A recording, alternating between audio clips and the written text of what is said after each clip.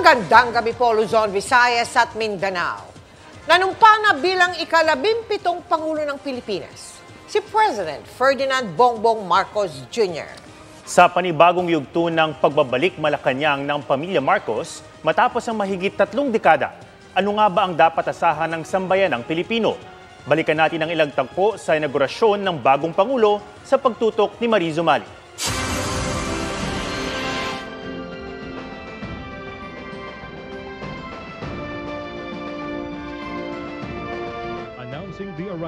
Of President-elect Ferdinand Romualdez Marcos Jr. Alas 11.25 nang dumating sa National Museum of Fine Arts sa Maynila si Pangulong Ferdinand Bongbong Marcos Jr. Kasama ang kanyang First Lady na si Liza Araneta Marcos na tila naging emosyonal. Hindi rin maitago ang tuwa ni Marcos habang nakangiting kumakaway sa mga taga-suporta. Kasamang umakyat na mag-asawa sa entablado ang tatlo nilang anak, sina Simon, Vincent, at kanilang kuya Sandro na Ilocos Norte District Representative.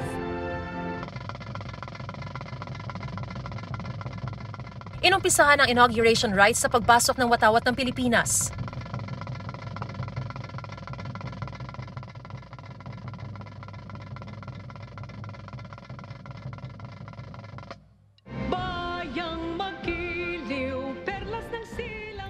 Sinundan ito ng national anthem na inawit ng host actress-singer na si Tony Gonzaga.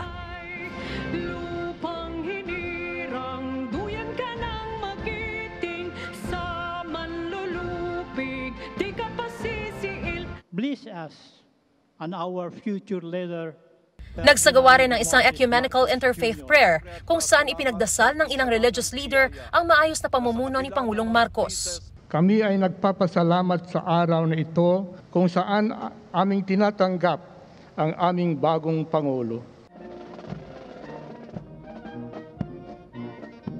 Pagkatapos nito, nagsagawa ng parada ang mga kawani ng Armed Forces of the Philippines, Philippine National Police at Philippine Coast Guard, kung saan ibinida rin ang ilang sasakyang panlupa at panghimpapawid na sandatahang lakas ng Pilipinas. Sinundan nito ng parada ng iba't ibang sektor ng bansa na pinangunahan ng mga medical frontliners, overseas Filipino workers at ilang grupo ng manggagawa. Sa isang punto kung saan nagmamarcha na ang mga frontliner ng pandemya, napatayo at napapalakpak si Marcos at kanyang buong pamilya. Bahagya itong lumapit at saka nakangiting nagbow sa kanila. Sila ang ating mga medical at healthcare frontliners. Matapos ang parada, binasa ni dating Senate President Tito Soto ang joint resolution kung saan opisyal nang idineklara bilang bagong Pangulo si Marcos at pangalawang Pangulo si Sara Duterte. to proclaim Ferdinand Bongbong Romualdez Marcos Jr. as the duly elected President of the Republic of the Philippines and Sara Zimmerman Duterte as the duly elected Vice President of the Republic of the Philippines. Eksaktong alas 12 ng tanghali sa pangunguna ni Chief Justice Alexander Gesmundo, Ako, si Ferdinand Romualdez Marcos Jr.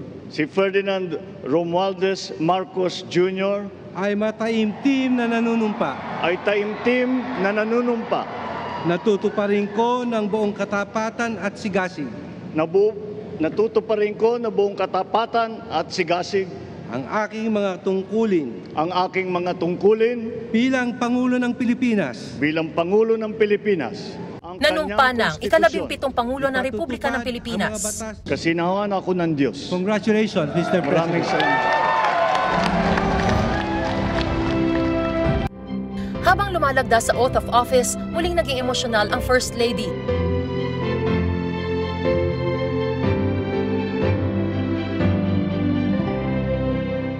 Nainabutan naman ang panyo ng bagong Pangulo.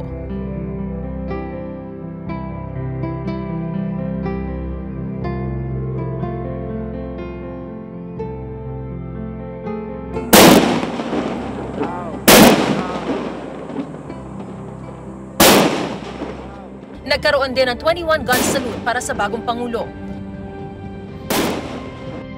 Kasunod ng inaugural speech ni Marcos, sinamahan siya sa entablado ng First Family. Sinamahan din sila ni Vice President Sara Duterte. Chief Justice Gesmundo at Senate President Tito Soto. At ang kanyang inang si dating First Lady Imelda Marcos, kapatid na si Amy at ilang pamangkin. Sinundan naman ito ng pagkanta ng Pilipinas kong mahal.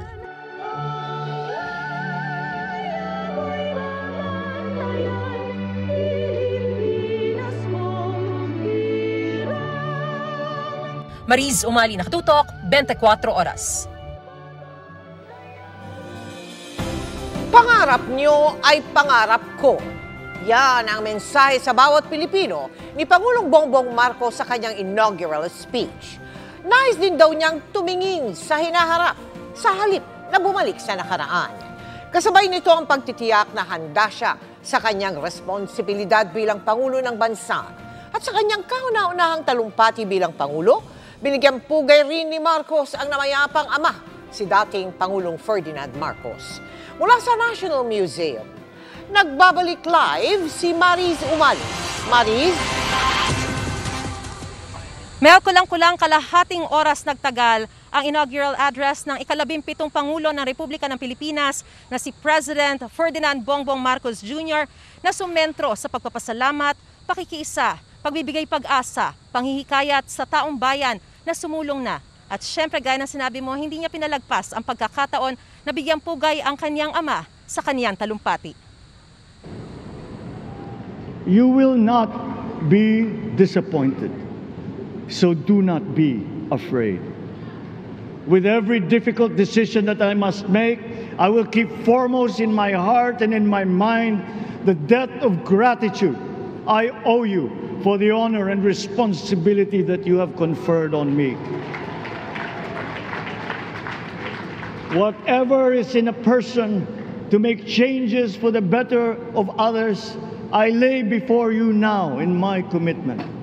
I will try to spare you. You have your other responsibilities to carry. But I will not spare myself from shedding the last bead of sweat or giving the last ounce of courage and sacrifice. Yan ang pangako ni President Bongbong Marcos sa mga Pilipino sa kanyang inaugural address. Sa gitna raw ng kaharaping mga problema ng kanyang administrasyon sa mga susunod na buwan, hindi natitinag, bagkos puno ng pag-asa ang ikalabing pitong Pangulo ng Bansa. If you ask me why I am so confident of the future, I will answer you simply that I have 110 million reasons to start with. Such is my faith in the Filipino. Inihalin tulad pa niya sa naging maaliwalas na panahon ngayon kahit inaasahang magiging maulan ang pag-asa na dapat daw nating panghawakan. Believe, have hope. The sun also rises like it did today and as it will tomorrow. And as surely as that, we will achieve the country all Filipinos deserve. Hindi raw siya narito para pag-usapan ang nakaraan, kundi ang hinaharap. We do not look back, but ahead. Up the road that we must take to a place better than the one we lost in the pandemic. Indeed, ours was the fastest growing economy in ASEAN by ways now outdated.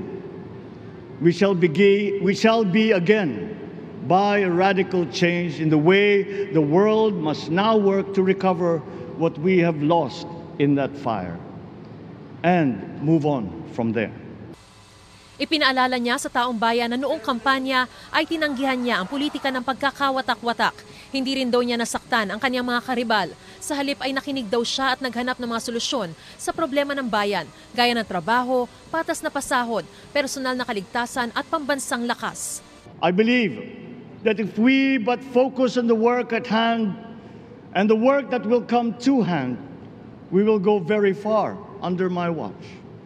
You believe that too.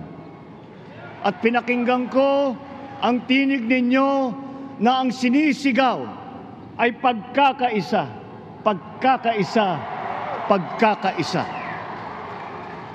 We will go farther together than against each other, pushing forward, not pulling each other back out of fear, out of a misplaced sense of weakness. But we are the furthest from weak. Sabay hikayat sa taong bayan na sama-samang abutin ang layon. In this fresh chapter of our history, I extend my hand to all Filipinos. Come, let us put our shoulders to the wheel and give that wheel a faster turn to repair and to rebuild and to address challenges in new ways to provide what all Filipinos need to be all that we can. We are here to repair a house divided, to make it whole, and to stand strong again in the Bayanihan way, expressive of our nature as Filipinos. We shall seek not scorn dialogue, listen respectfully to contrary views, be open to suggestions coming from hard thinking and unsparing judgment, but always from us, Filipinos. We can trust no one else when it comes to what is best for us. Past history has often proven that. Alam daw niya ang bigat ng responsibilidad na iniatang sa kanya pero aniya hindi niya ito tatalikuran. I do not take it lightly, but I am ready for the task. I will need your help. I want to rely on it. But rest assured, I do not predicate success on the wide cooperation that's needed. I will get it done. Iginiit ng Pangulo na kaisa niya ang taong bayan sa kanilang pangarap. The campaigns I've run have taken me here where I stand today. I listened to you, and this is what I have heard. We all want peace in our land. You and your children want a good chance at a better life in a safer, more prosperous country. Your dreams are mine. Pangarap nyo ay pangarap ko. Sa pangarap na maging mapayapa ang ating bansa, ang pangarap nyo ay pangarap ko. Sa pangarap na maging maunlad ang ating bansa, ang pangarap nyo ay pangarap ko. At sa pangarap na maging mas masinang ang kinabukasan natin at ng ating mga anak, ang pangarap nyo ay pangarap ko. Hindi niya pinalagpas ang pagkakataong bigyang pugay ang kanyang amang si dating Pangulong Ferdinand Marcos Sr. I once knew a man who saw what little had been achieved since independence in a land of people with the greatest potential for achievement. And yet, they were poor. But he got it done, sometimes with the needed support, sometimes without. My father built more and better roads, produced more rice than all administrations before his. President Rodrigo Roa Duterte built more and better than all the administrations succeeding my father's. So will it be with his son. You will get no excuses from me. Kabilang sa mga tututukan daw niyang agrikultura, enerhiya, edukasyon, OFWs, turismo at problema sa polusyon na sinimulan ng masolusyonan ng windmill. Tinalakay din niya ang posibleng peligrong idulot ng gyera ng Russia sa Ukraine sa ating bansa. Hiyawan naman ang isinagwat ng mga tao nang batiin niya ang kanyang may bahay si First Lady Liza Araneta Marcos at ang inang si dating First Lady Imelda Marcos. Of course, First Lady Lisa Araneta. I cannot proceed without a special greeting, of course, to the former First Lady Imelda Romualdez Marcos.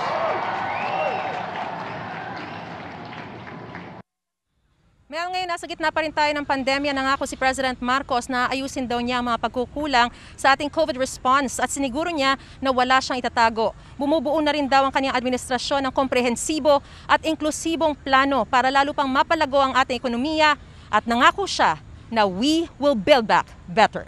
Mel? Maraming salamat sa iyo, Mariz Umali. Suporta ng publiko para sa bagong administrasyon. Yan naman ang apela ni dating Pangulong Duterte sa kanyang pagbaba sa pwesto.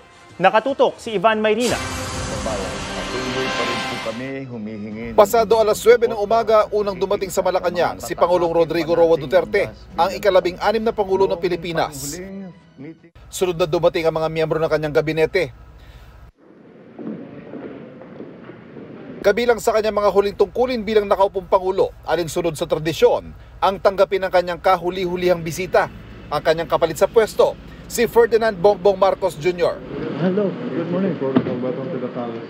Dumating siya ng Malacanang bago magalas 10.30. May tuturing na isa ring makasaysayang araw ang pagbabalik ng isang Marcos sa Malacanang makalipas sa mahigit tatlong dekada. Kinamayan siya ng outgoing president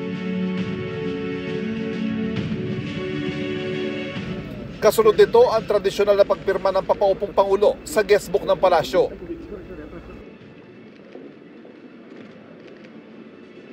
Official visitor to our president. Yes, sir.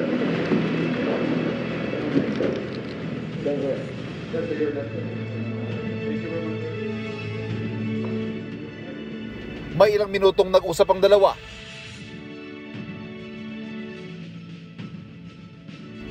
Sabay bumaba ng hagdan sina Duterte at Marcos. Isa na namang simbolikong pagbaba na hudyat ng pagbaba na rin sa pwesto ni Duterte.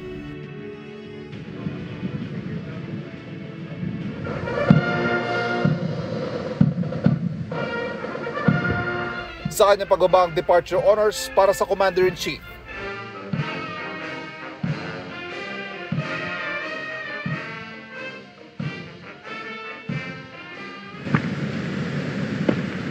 Salamat mo sa trupa. Thank you for the honor. And uh, I will remember it forever.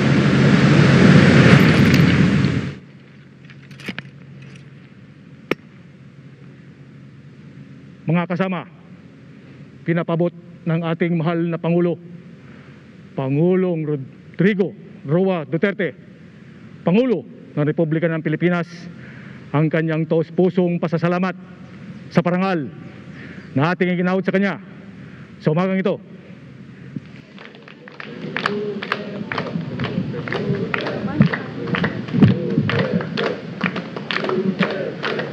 Masigabong palakpakan na ibinigay kay Duterte ng kanyang nag-aabang na gabinete na isa-isa niyang kinamayan.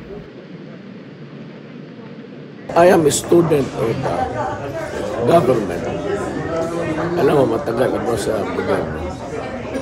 I think I assembled one of the best cabinet. Isa-isa rin silang kinamayan ni Marcos. Nag-iwan din ng mensahe ang outgoing president sa sambayanan na anim na taon din niyang pinamunuan. Let us uh, give uh, all our support to the new administration. Tulungan natin sila. Dito na umalis si Duterte na simula ngayong araw na ito ay citizen road na.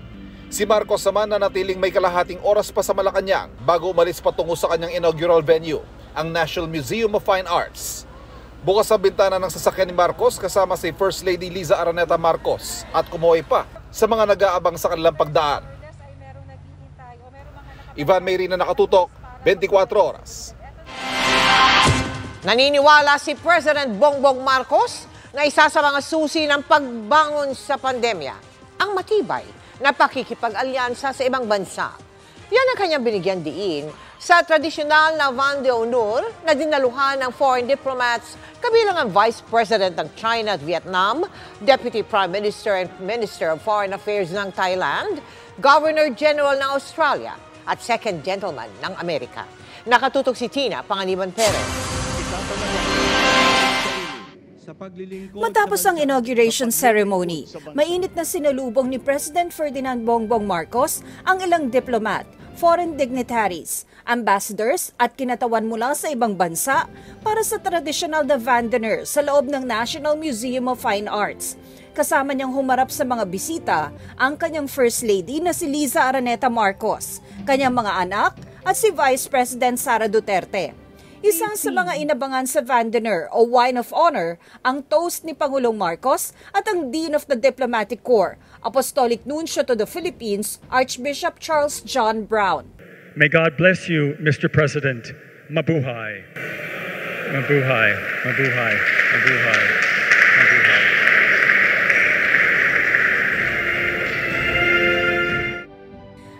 Nangako ng kanilang pakikipagtulungan si Archbishop Brown sa bagong administrasyon para sa magiging tagumpay ng mandato nito. And your call for unity has resonated deeply and widely with the Filipino people. We too, in the international community, harbor the same, the same hopes for your presidency and for your nation. Nagpasalamat naman si President Marcos sa mga dumalo at binigyang diin ang kahalagahan ng partnership ng mga bansa sa pagkakaroon ng matatag na global environment at pagbangon mula sa epekto ng pandemya. I still believe that the transformation of the world economy and our recovery from the pandemic will be dependent on our partners and our allies. And it will be those partnerships that will strengthen that recovery, that will make a more balanced and stable new global environment. Ikinatuwa rin ng Pangulo ang pagkakaisa ng mga bansa na tugunan ng isyu ng climate change at binigyan pansin din niya ang pagkakaugnay ng political system at relasyong pang-ekonomiya, edukasyon at kultura ng mga bansa. The day will come when we can say that we have built upon the strong foundation that we came upon and to toast to the strengthening of our continuing relationships between the Philippines and your country. Cheers. Nabuhay kayo. Tina Panganiban Perez, nakatutok, 24 oras. Balik na sa pagiging ordinaryong mamamayan si dating Pangulong Rodrigo Duterte sa pagwawakas ng kanyang termino ngayong araw. Matapos ang tradisyonal na salubong sa Malacanang na masyal at nananghalian sa isang mall sa Makati si Duterte bago lumipad pa Davao City. Narito ang live na pagtutok ni Marisol Abduraman. Marisol. Atom, biyaheng Davao na si dating Pangulong Rodrigo Duterte matapos nga ang departure order sa kanya sa Malacanang kanina. At bago siya tumulak papunta rito sa airport, ay dumaan muna siya atom sa isang mall sa Makati. At gaya ng ordinaryong pasahero, dumaan sa usual procedure si dating Pangulo na ngayon ay si Citizen Rodina.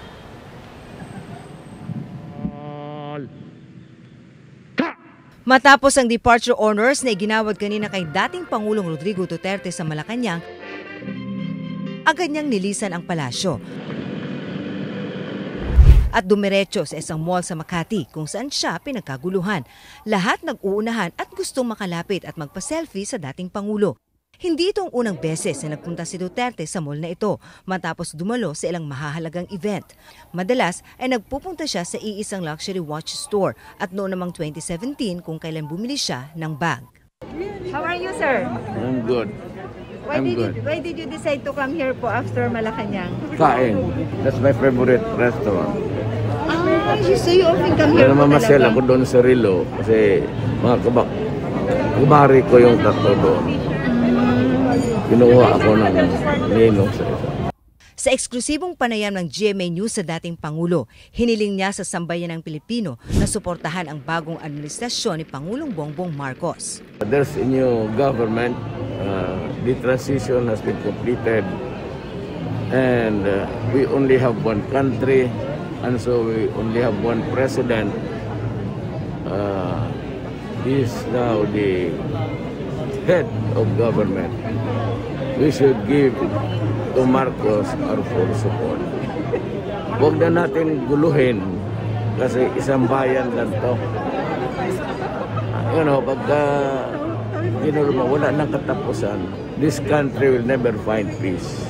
Bagamat halatang pagod, all smiles pa rin si Duterte at game na game na nakipag-selfie bago tuluyang nakapasok sa isang restaurant para mananghalian. Kagabi, nagkaroon ng final send-off ang 250 Presidential Airlift Wing bilang pagbibigay pugay kay dating Pangulong Duterte sa Villamor Air Base sa lungsod ng Pasay. Sa send-off, pinirmahan ng dating Pangulo ang 250 po flight logbook na naglalaman ng mga flight details ng kanyang mga naging paglipad sa anim na taong termino bilang Chief Executive.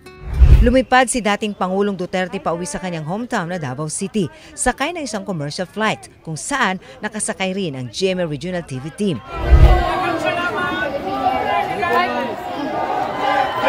Mag-alas 4 naman ngayong hapon nung dumating si Duterte rito sa NAIA Terminal 2. Sabi niya, talagang hinintay niya raw ang araw na ito dahil pagod na raw siya. Unang-una raw na gagawin niya. Ngayon isa na siyang citizen roadie ay bumawi ng pahinga at tulog.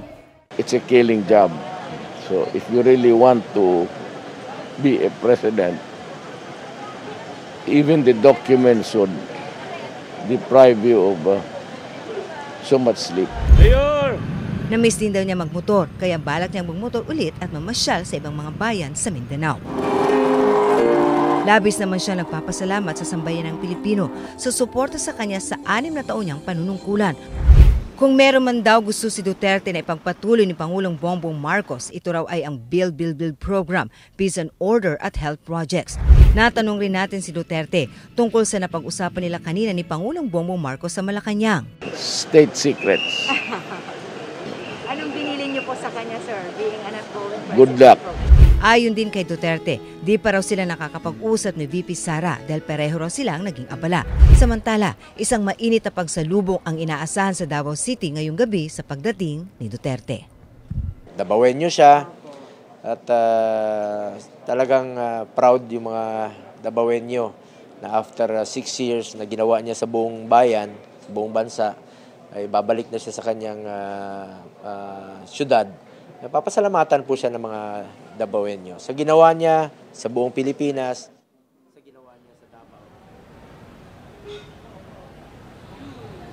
Bago ang inaasam-asam na pahinga at mahabang tulog ng dating Pangulo, ay kanya munang imimit ang kanyang mga kapwa taga Davao at kanyang mga taga-suporta na naghihintay sa kanya sa kanyang pag-uwi ngayong araw at inaasahan na dadalo ang Pangulo sa mga programa ngayong gabi sa Davao City. Atom.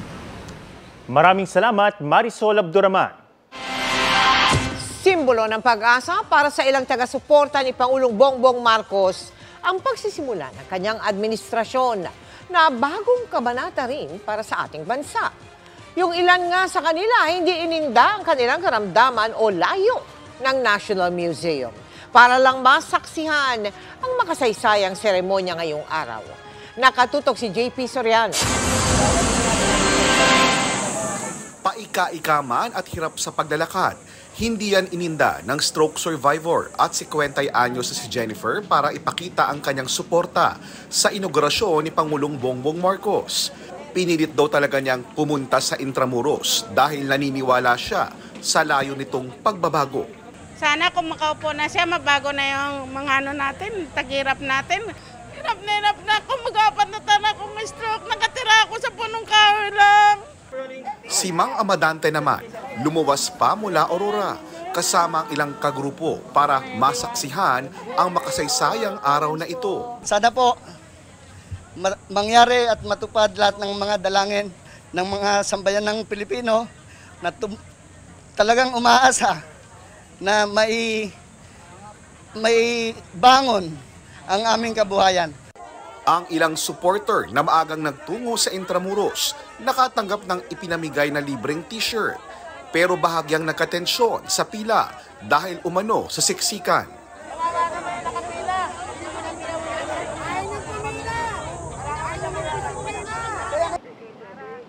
May iba naman na nag-abang na lang sa convoy ng Pangulo habang papunta siya sa National Museum. Hindi naman sila nabigo dahil bukas ang bintana ng sasakyan ng Presidente at First Lady at kumaway pa sa mga taga-suportang naghihintay sa kanya sa gilid ng kalsada.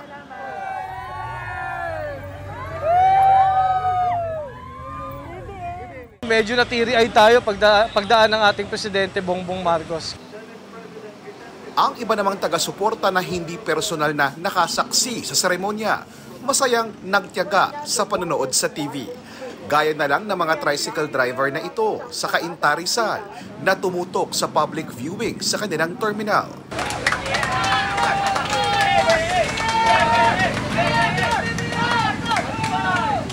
Ang 81 taong gulang na si Jose, halong tuwa at pag-asa raw ang nararamdaman. Masaya po. Dahil po? Loyalist ako nung nakaraan nung maalis si President Marcos. Buong ano talaga, mag-development sa agriculture at saka sa ano natin sa ibang bansa, lalo na sa China at Amerika. Uunlad to, uunlad tayo. nagkaroon din ng live viewing sa Quezon City Hall. Pasalamat lang po kasi kahit di kami nakapunta doon, eh, mas mapalapit na lang po. Dito na lang manonood. Sa Ilocos Norte na hometown ng mga Marcos, ilang taga-suporta rin ang nag-abang sa inaugurasyon ng bagong Pangulo. I'm so glad na bumalik ang isang Marcos to continue whatever programs or projects na hindi natuloy during the uh, administration of the first Marcos. JP Soriano, nakatutok 24 oras. Sa pag-uwi ni dating Pangulong Rodrigo Duterte sa Davao City, isang espesyal na homecoming concert ang inihanda para sa kanya bilang pagpupugay at pasasalamat. Nakadutok doon live si Argil Relator ng GMA Regional TV 1 Mindanao. Argil? Mel, nagpapatuloy sa ngayon ang kasiyahan dito sa labas ng isang mall sa Davao City kung saan kasalukuyang ginaganap ang isang homecoming concert para kay former President Rodrigo Roa Duterte. Alas 5.30 ng hapon nang simulan ang Salamat Tatay Digong homecoming concert dito sa parking area sa isang mall sa Bahada, Davao City. Suot ng mga Davaoenyong narito ang t-shirt na may nakasulat na Salamat Tatay Digong. Maraming naka-line up ng mga banda at performers na magbibigay saya ngayong gabi. Inorganisa ito bilang pagpupugay at pasasalamat sa aning na taong pagserbisyo ni dating Presidente Duterte, ang unang Mindanawan na naging Pangulo ng bansa. Inaasahan ng organizers na magtatagal ang dating Pangulo sa concert upang makasama siya ng mga kababayang sabik na rin sa kanyang pagbabalik.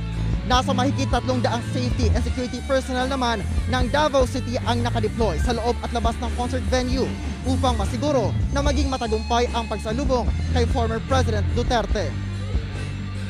Mel, any minute from now ay nasahang lalapag na ang sinakyang eroplano ni former President Rodrigo Duterte sa Davao City International Airport at saka siya pupunta rito sa concert venue. Mel. Maraming salamat sa iyo, Argil Relator ng GMA Regional TV 1 Mindanao. Pinangunahan ni President Bongbong Marcos ang panunumpa ng kanyang gabinete na magiging katuwang niya sa pagtupad sa sinumpaang tungkuling pamunuan ang bansa. Tatlong mahalagang departamento ang wala pang naitatalagang kalihim hanggang ngayon. Nakatutok si Ivan Mayrina. Pagkatapos ng Vandenur, nagkaroon ng departure honors at 21 gun salute ulit para kay President Bongbong Marcos.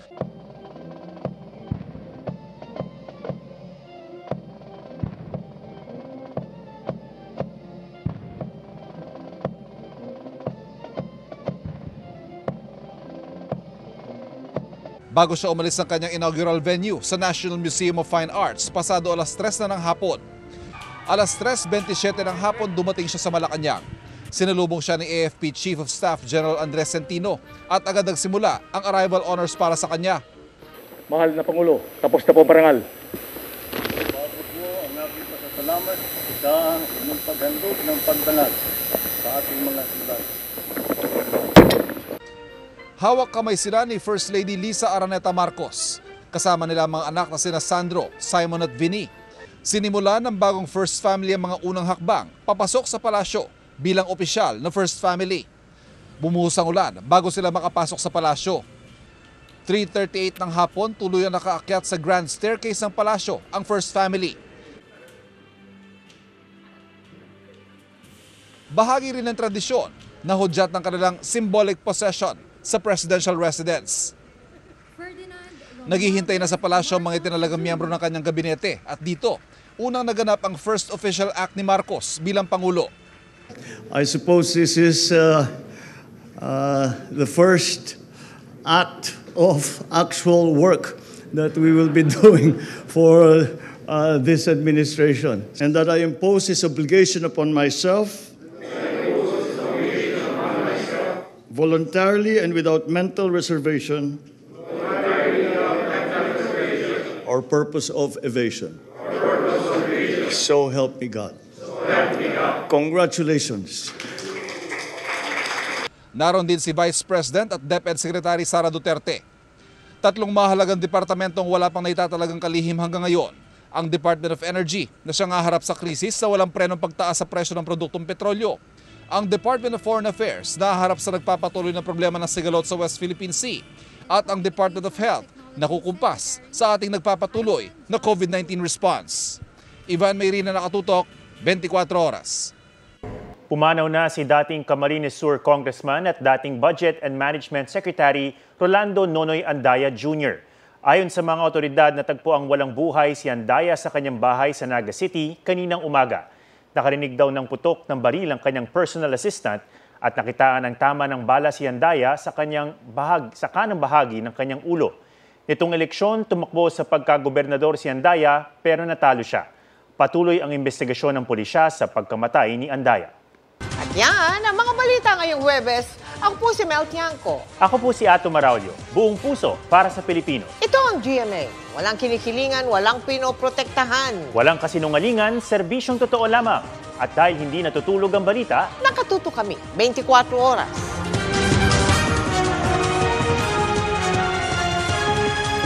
Hindi natutulog ang mga balita. Kaya para sa pinakasariwang balita, mag-subscribe kayo sa aming YouTube channel. Para sa mga kapuso abroad, pwede nyo rin kaming makasama sa GMA Pinoy TV at sa www.gmanews.tv.